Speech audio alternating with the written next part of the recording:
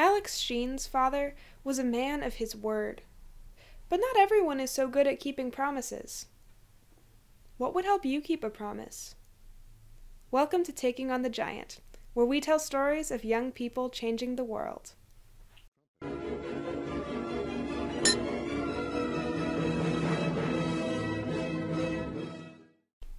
Taking on the Giant's own Raluca Besliu met with Alex to talk about his truly original project called Because I Said I Would. So, Because I Said I Would is uh, a social movement dedicated to the betterment of humanity through the importance of a promise. You know, when you look at a lot of issues in society, whether mm-hmm. that's um, lung cancer, education, uh, feeding the homeless, it's a lot of different things come down to someone's commitment. Commitment to get better, to move on, commitment to help others. Mm-hmm. And so, because I said I would, helps people with those commitments through this concept called a promise card. It's really simple to use. It says, Because I said I would, and nothing else you write a promise on the card and you give it to someone as mm-hmm. a gesture of a commitment. You tell them, I'm going to fulfill this promise, and when I do, I get my card back. It belongs to me.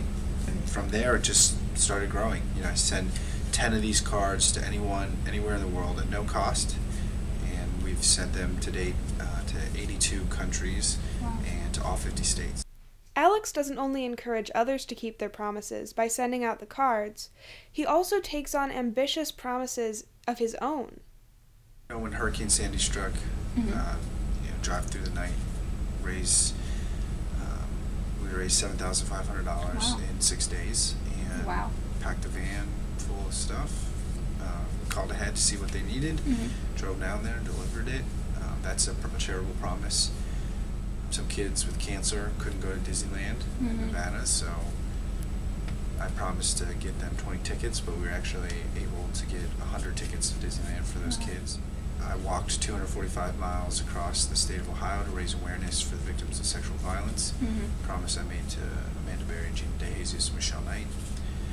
Um, we raised a bunch of money for, for not only them, but for RAINN, the nation's largest anti-sexual violence organization.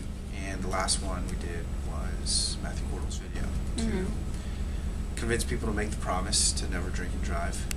Uh, we also donated $5,000 to um, uh, Mothers Against Drunk Driving based off, our, off of our product sales.